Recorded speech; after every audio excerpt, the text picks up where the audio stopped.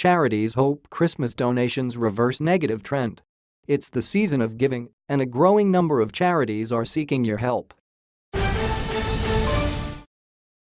Christmas is the second busiest time of the year for charities after annual the tax deduction stampede in June, but the options for giving are wider than at other times. Latest statistics from the tax office show that 4.5 million Australians make tax-deductible donations each year, and the amount given climbed 16% to $2.62 billion between 2012 and 2014. However, NAB's recent Charitable Giving Index found the overall rate of giving declined by 0.3% in the 12 months to August this year, dragged down by a 3.9% drop in donations among 25 to 34-year-olds. The average annual donation size is $348 per donor. Giving at Christmas is about more than just money. The official data doesn't show how much is given away in food hampers or toys left under wishing trees at shopping centers, while donating your time can be just as valuable.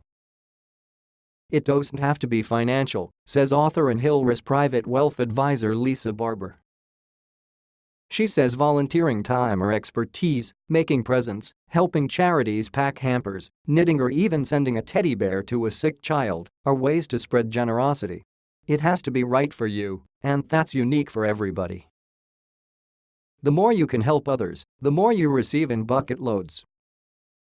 Barber says Christmas is a great time to get children involved in giving.